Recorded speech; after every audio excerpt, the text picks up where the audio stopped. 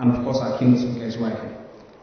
Our keynote speaker for today is an accomplished economist with over three decades experience.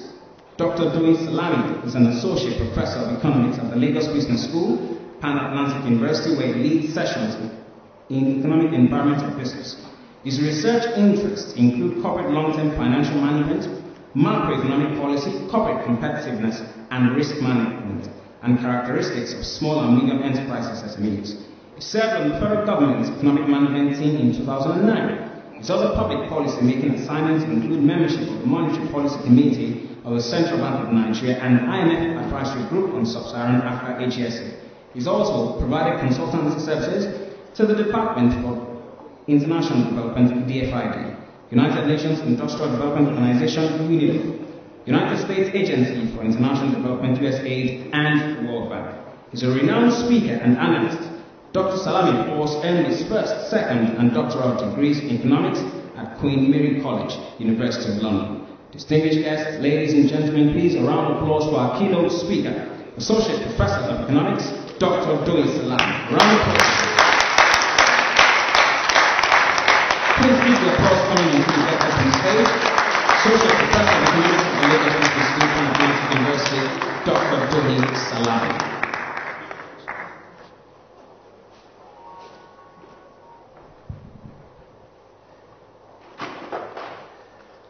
Right. Um, distinguished ladies and gentlemen,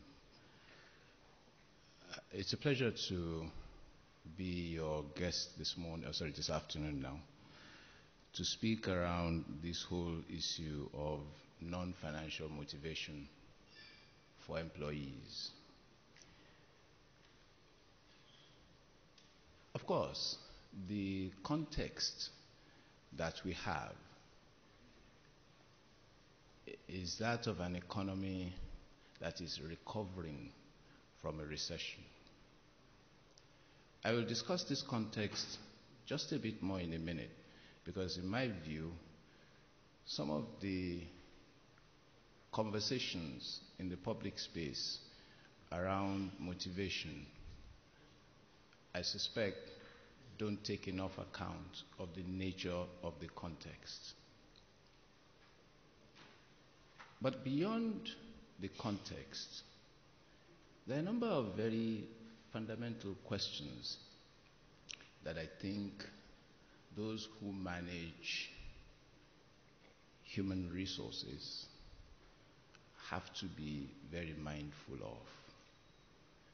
As I, I came in a bit late, well, I was told I would be speaking at 12.40, so I didn't realize it would have been in my interest to come in much earlier. But listening to members of the last panel, I actually began to wonder what now do I say? because quite a lot of what I had at the back of my mind seems to have been covered.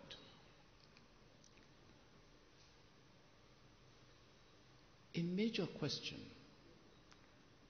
that everybody will deal with is the changing nature of employment and the employee. Let me repeat that. The changing nature of employment and the employee. I was speaking to an audience of consultants sometime last week, and I said to them, the concept of the office as a place where we aggregate resources for sharing is changing. Technology has meant or means that increasingly resources are being disaggregated and that the non-factory office is not going to be where people actually get work done but where they meet counterparties and socialize. Please bear that in mind. Where they meet counterparties and socialize. Which means the old notion or notions around physical sighting of people almost on a daily basis as part of how we manage ourselves is increasingly changing. It's going to present a whole host of challenges. Indeed, one of the questions around almost an old school HR manager trying to manage a bunch of millennials is probably one of the biggest challenges, even though we smile. But believe me, one of the biggest challenges. So that's one major question. If the nature of the employee is changing, then it must mean the nature of the employee's motivations are also changing. Do we really keep a pulse or keep our fingers to take a pulse of what motivates the employee? How many organizations actually profile their employees before they start work?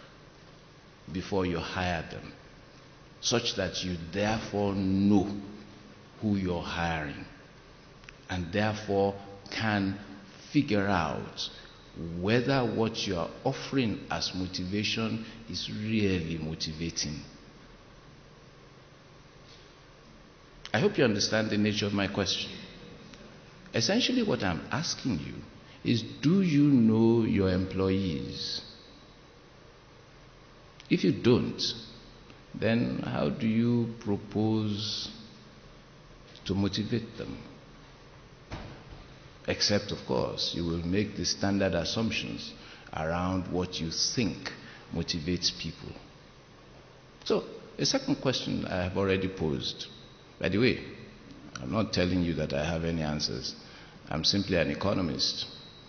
And as I tell people, I'm an economist born and bred in Ijebu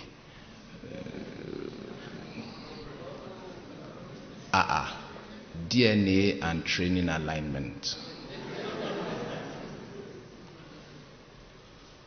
A third question that you will have to reflect upon is what's going to be, as far as employee productivity is concerned, what's going to be the role of technology, especially what I call learning technology. Because whether we like it or not, the nature of learning is changing. The context of learning is changing. The content of learning is changing.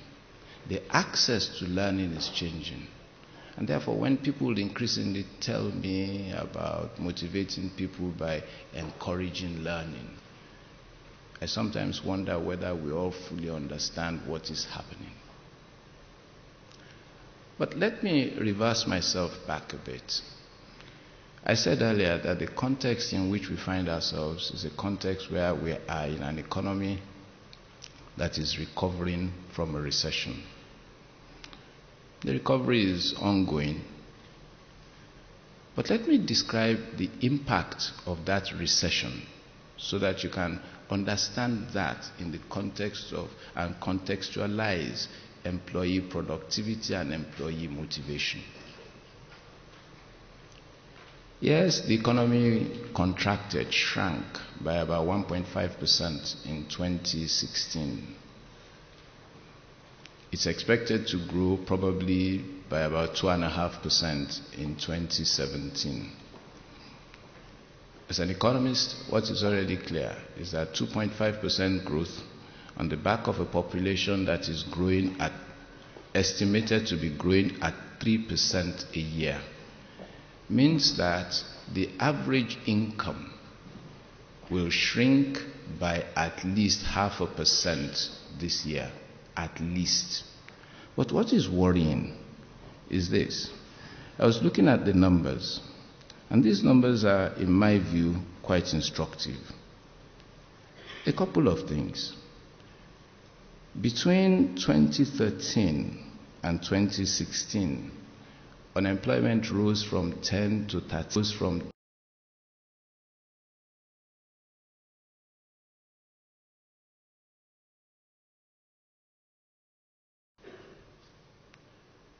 What is funnier, if you call, consider it funny, in my view probably more ironic, is that in the age group of about 8, 16 to 25, underemployment is somewhere around about 58 percent.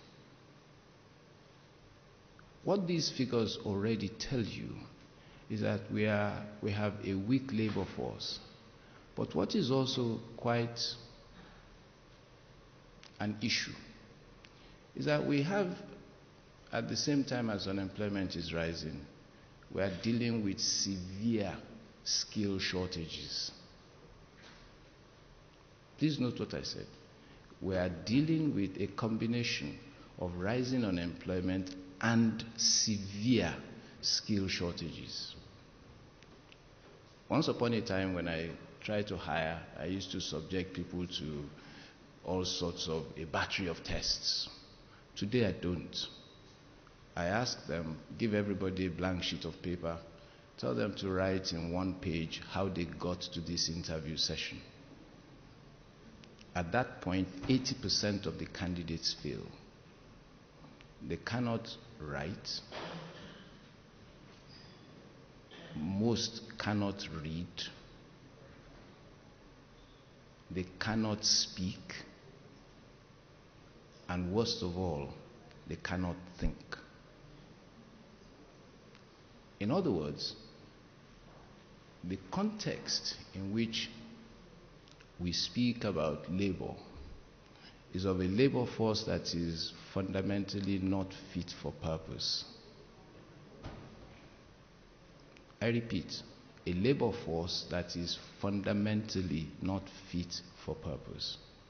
And so when people, when we start talking about motivation, whether companies like it or not, when we talk about non-financial motivation, essentially what we're looking at is to say, well, because of a recession, companies cannot raise wages.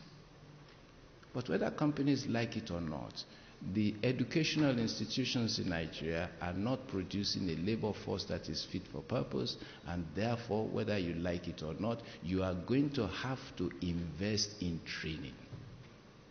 So, this whole idea that training as a motivation is, in my view, a misnomer. Because fundamentally, the labor force is not fit for purpose. What should have been a public cost has already been passed into the private sector. Companies hire, and for the next anything between 6 to 18 months, they are training people just to bring them to a standard that makes them able to work.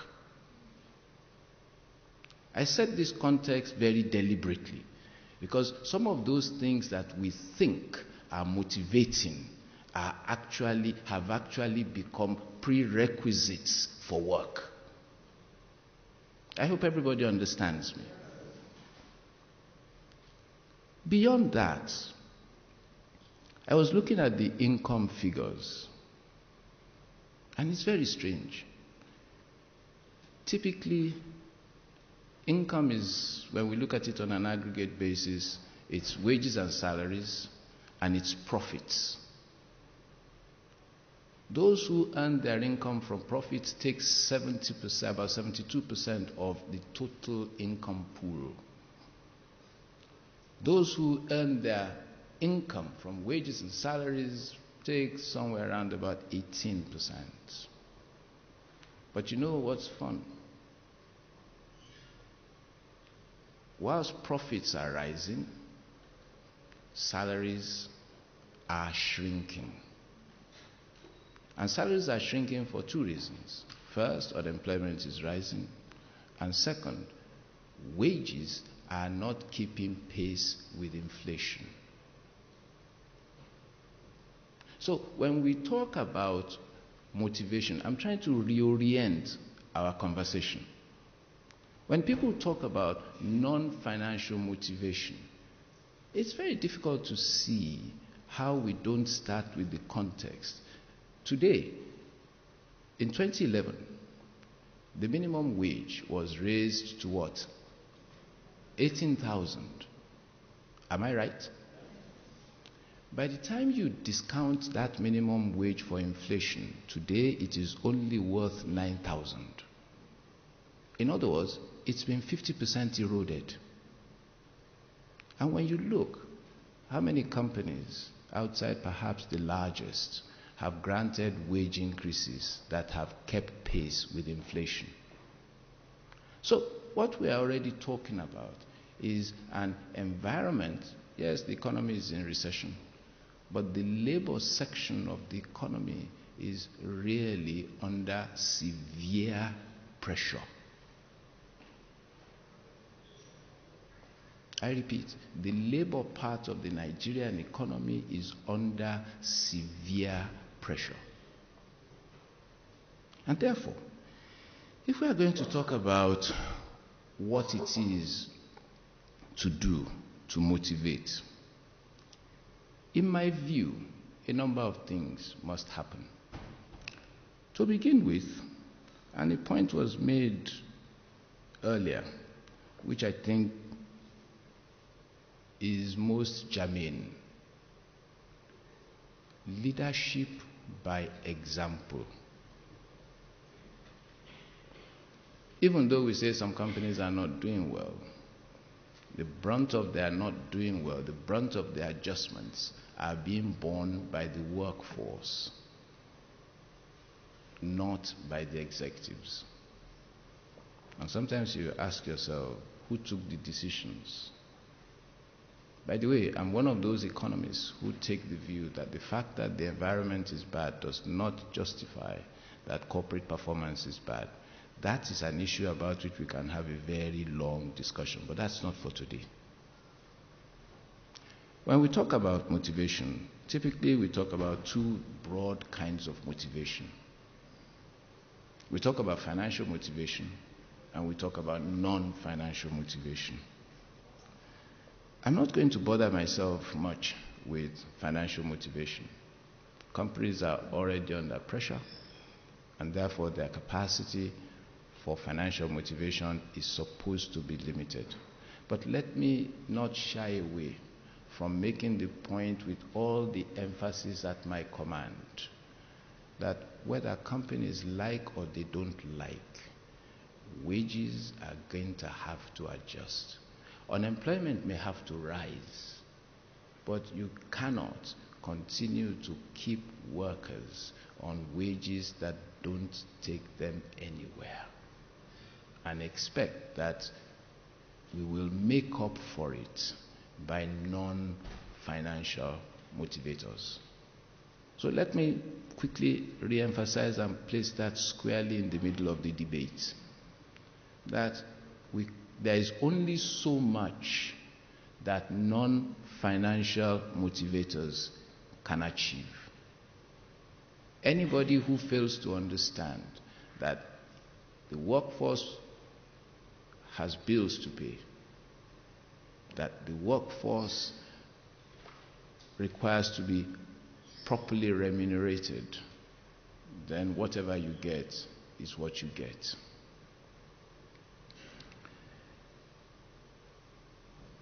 When I asked them to produce, prepare a set of slides for me, one of my guys put this, and I'm going to read it exactly as they put it. It says here Every employee certainly appreciates more money, but money does not buy happiness, nor does it buy engagement and loyalty. On the other hand, they put non financial incentives inspire and engage employees in ways that money is incapable of. And the first thing that struck me is that it almost reminded me of that saying money is the root of all evils, but let me have some. it's one thing to say money does not buy loyalty, doesn't buy engagement. But it is what is typically defined as a hygiene factor. In its absence, what you want to happen won't happen. It may not be sine qua non, but you need money. Now, for me, I said we must walk the walk. Sorry, walk the talk. Number two, we must know who we're hiring. But who you are hiring must also depend on the role into which they're being hired. There are people who you need simply to comply. So if I'm looking for a compliance officer, then I'm looking for a very calm, and I'm sure half of this audience will erupt in annoyance now, but I'm looking for a very calm, accountant like person. Looks after my numbers accurately, makes sure that things are done the way they are supposed to be done, because I don't want regulatory infractions. I'm not asking the person to be, I'm not saying accountants are not high flyers, but I'm not asking the person to be flamboyant. There are, however, other functions within the organization that I do need flamboyance. I need the capacity to think. I need the capacity to take risk. I need the willingness, the courage. And so, for me, the beginning of motivation is to hire the right person. And for that to happen, you must know who it is that you're hiring. So for me, leadership is important. Profiling is very important. What is the profile for this job?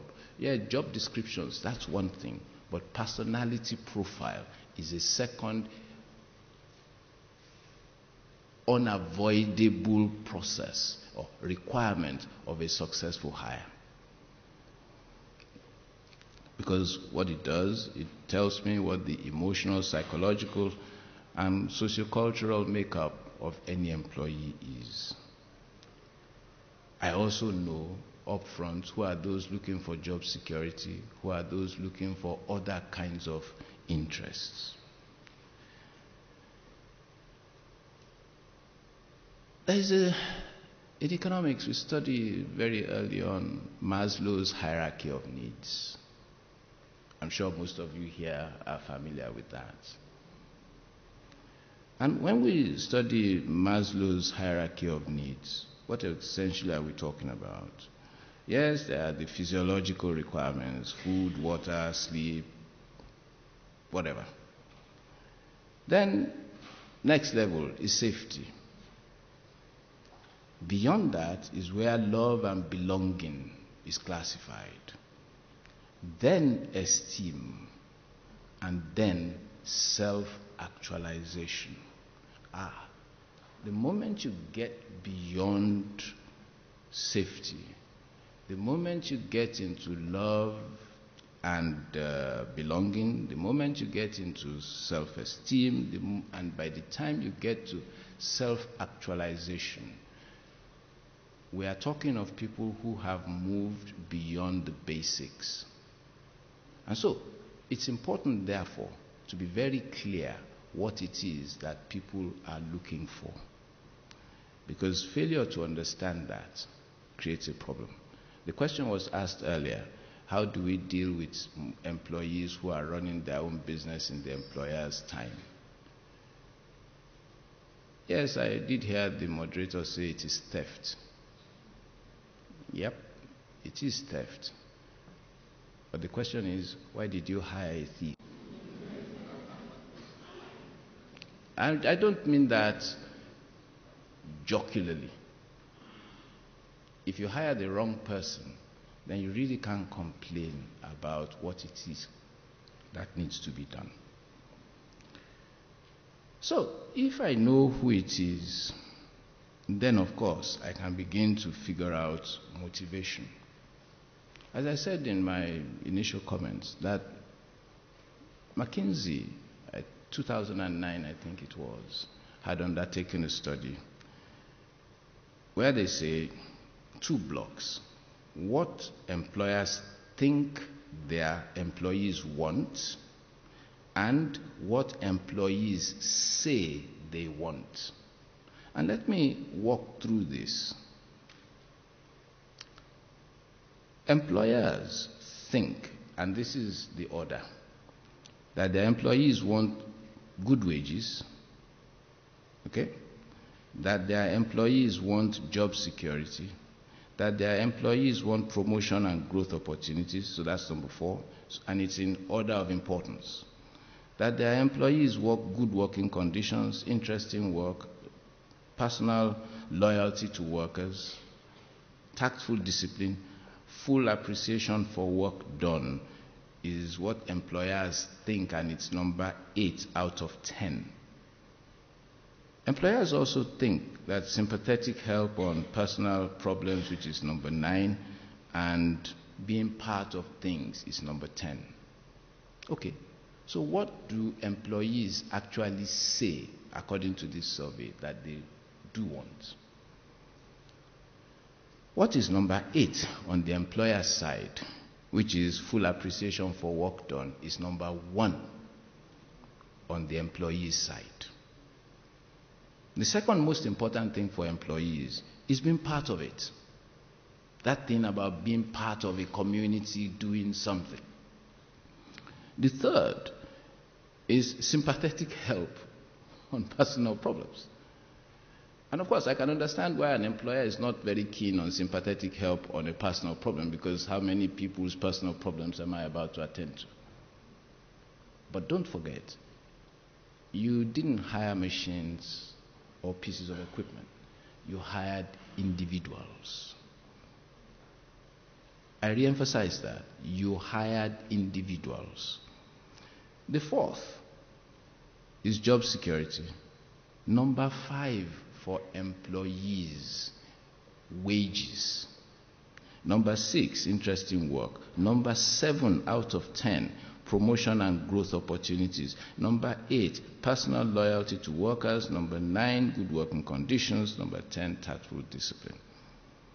You can see the divergence between how employers see things and how employees see them.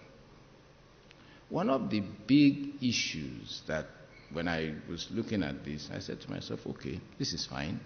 McKinsey's done this global study. Has anybody done this for Nigeria? Because many of you here in this audience are HR professionals. And my question is what is the basis of the data? First of all, do you have data with which you work? Second, are these pieces of data work that is drawn from this environment or environments similar to ours? In other words, I'm putting the challenge squarely in front of you that if we are going to successfully manage, it is not the business of trying to adapt what a McKinsey says or adapt to what a McKinsey says, but to clearly see how relevant to the domestic environment this is. And the only way you are going to find out how relevant in a domestic environment this is is by collecting domestic data. So that's the, for me, a very important thing. If that is the case, what then are you to do? In my view, there are three things to do. And since I can see the moderator standing to my left, I know that my time's up. But there are three things for you to do. The first is around leadership. How do we lead our people? By what values do we lead our people? Are these clear? Are these transparent? Are these well understood? Please don't underestimate this because, in my view, having worked with quite a lot of companies, what I call the directional beacons, once they are opaque, creates problems. The second, who are our people? Who are they? What drives them? Not what do we think drives them. The real question is what actually drives them. I remember the, one of the first MBA classes I had to teach at the business school many, many years ago. And I said to them in that, on that occasion, we were talking about price wars. And I said, look, in economics, no business must create a value that it cannot appropriate. Because if you create value that you cannot appropriate, you are selling in the wrong market. Let me reverse that into our conversation for today. If we don't know our people and manage them on the basis of who we think they are, then we are very unlikely to make any advances in their motivation. It doesn't matter whether there's a recession or whether there isn't. For my money, the difference a recession makes is a very simple one. We argue or we contend quite often that any idiot can manage when the economy is good. It's when the economy is in trouble that we know who the real managers are. And so, for me, the question is who are your people? What do you know of them? Because unless you know who they are, then it's going to be very difficult for you to motivate them. Let me repeat that. Unless you know who your people are, it is going to be extremely difficult to motivate them. Trying to apply textbook solutions around what motivates in my view, is the wrong approach. The third and final thing so I've spoken to the point about leadership. I've spoken to the point about a, a, need to clearly understand who your people are.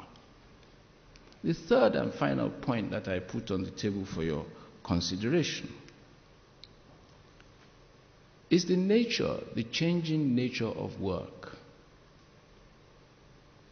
In the local context, Remember what I said high unemployment, high skill shortages. Whether we like it or not, therefore, we are going to have to spend money to rectify that. But the changing nature of work simply means, in my view, that that point at which I align the interest of the individual with the interest of the business becomes pivotal. I must be able, by leadership, by knowing who they are, then become able to align the interest of the individual with the interest of the business. An inability to do that leaves your business very, very vulnerable. It is therefore worth your while to spend as much time, as much resources in getting those three things right leadership, knowledge of your people, and the ability to align the interest of your people with the hopefully well defined interest of your business. You are able to do that, and the points about motivation, financial or otherwise, almost become irrelevant you're unable to do these things, then I'm afraid you spend a lot of time chasing shadows. Ladies and gentlemen, thank you very much indeed.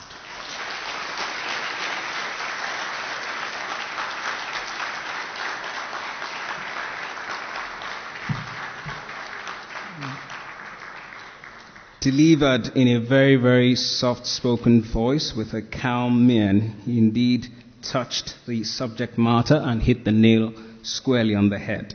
And of course, interesting discussions right there.